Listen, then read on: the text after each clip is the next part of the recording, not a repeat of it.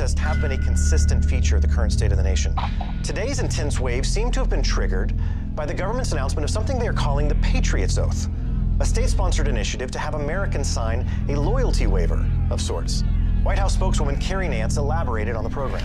People are frightened these days.